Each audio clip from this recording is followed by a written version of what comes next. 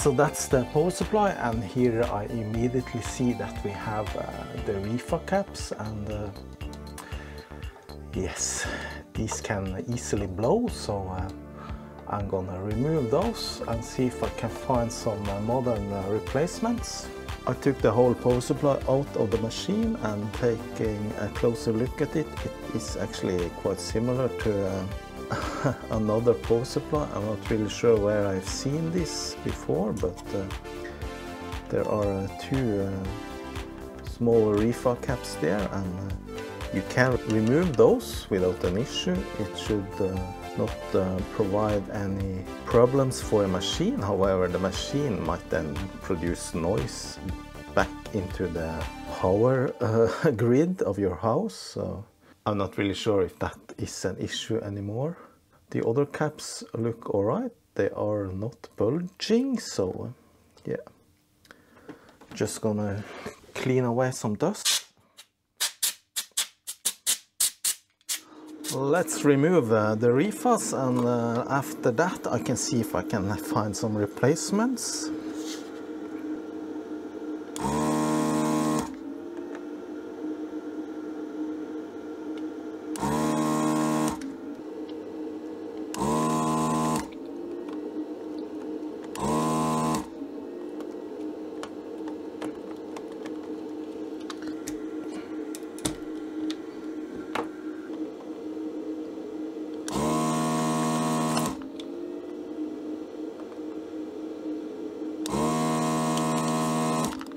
By the way, I did short out these electrolyte capacitors before I started uh, working on this. For this uh, big uh, 100 nanofarad, I have uh, this replacement. It's uh, quite smaller. I'm not really sure if I can fit. Yeah, there seems to be uh, holes for narrower types of caps, so that should fit straight in.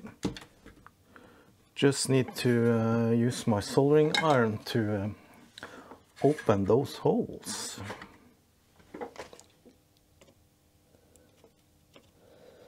There you go.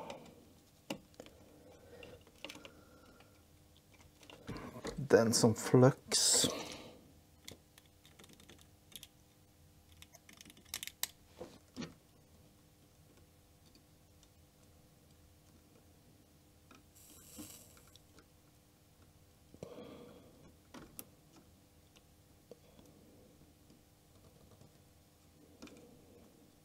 For the two uh, 10 uh, nanofarad or 0 0.1 0 0.01 microfarad. I don't have a direct um, replacement. I think I have uh, 47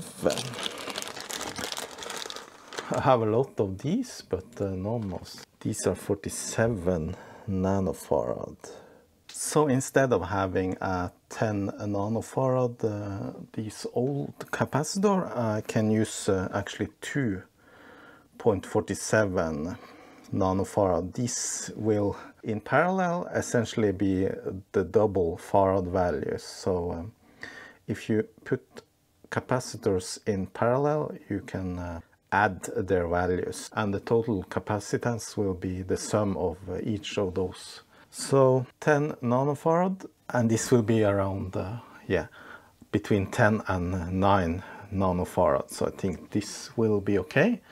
And I don't think it uh, matters that much either. Just to make sure my assumptions are correct, I'm gonna measure the old capacitor.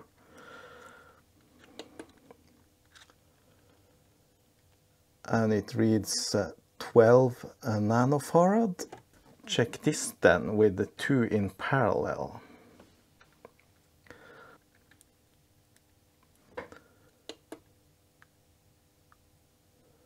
Yeah, 10 nanofarads, so that's uh, close enough. We're good to go. So this as well has uh, two different uh, sizes in the holes uh, or widths between the holes. So I can just put the one uh, there and the other one in the wider position. It's not going to be pretty, but it works.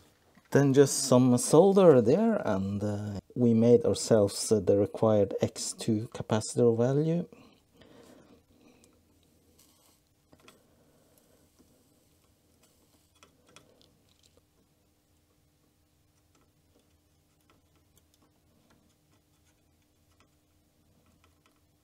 Of course I do the same with the other one, double up in parallel and uh, yeah, this should work. However, I will never recommend you do this if you don't know what you're doing because uh, if you short out something, uh, yeah, do a mistake, then uh, things can blow up in your face when you turn it on.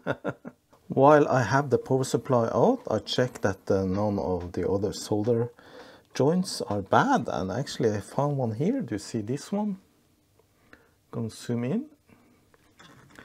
It's going to uh, this uh, ground pin on the other side, I think, and uh, it's loose. So I'm just gonna go over some of the solder joints uh, with my soldering iron.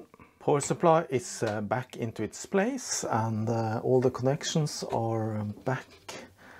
There's one extra outlet for the power supply here. I'm not really sure what that is supposed to be used for, but yeah, I think I'm ready to assemble this machine now and hopefully it will work. I will try and turn it on before I completely puts everything back into the case.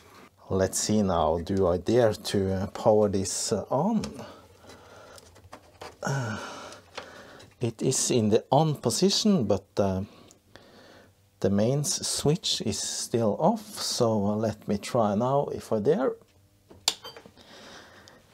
Yeah, I heard a beep and nothing blew, so I, I guess the, it worked then. Uh, I'm gonna turn the machine around and see if the screen actually came on. Now it is upside down, so uh, let's see if we get anything on uh, the screen.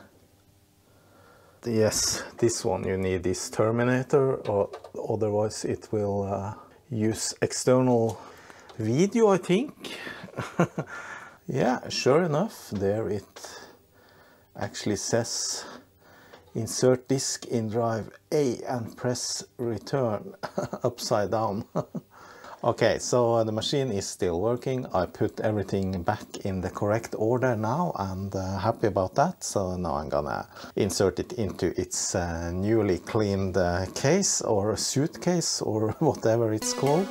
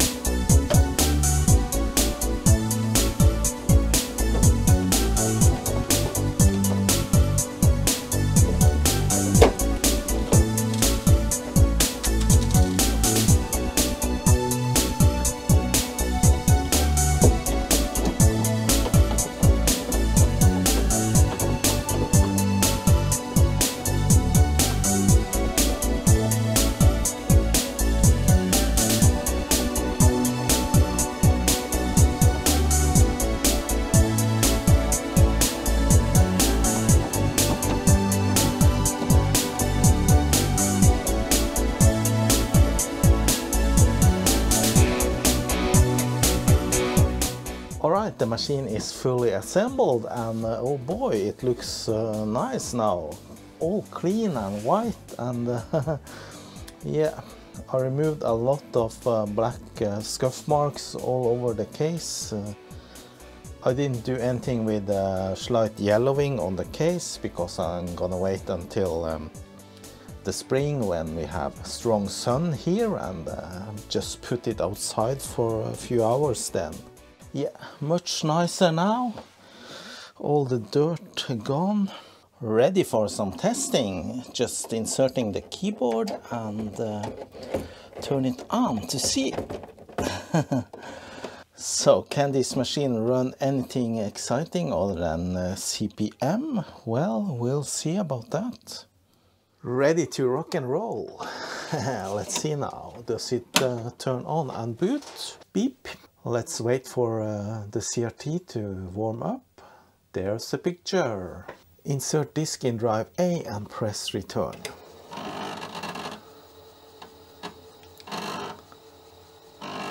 Alright, so it's loading right away. nice.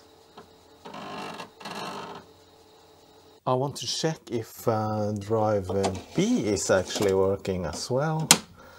So we can uh, exit this uh, menu with uh, escape and uh, go into CP/M and uh, it has 60k available. so let's change to B then. B colon. Alright, the drive B is spinning up. Dir. Okay, so here's something. Uh, klubb, matte, dagbok, diary and some uh, school stuff. So uh, that means that the drive, um, oops, both drives are working and we can try uh, WordStar. Not sure how readable this is. Uh, Okay, so here's some um, documents. I'm not gonna go into this. There might be some uh, personal um, information here that I'm not uh, gonna reveal. So there is some um, tools here on this disk. There's some utilities, graphics, modem connection, self-portrait. What's that? okay nice uh, graphics this machine cannot produce bitmap graphics it can only produce uh, text characters so um, yeah CP/M utilities layout of memory so it has 4k uh, video RAM and the rest is available for used by applications. Alright, so that was a little bit of CPM. I um, did clean the keyboard, uh, but uh, I haven't done a real keyboard test, so let's see if all the keys are working.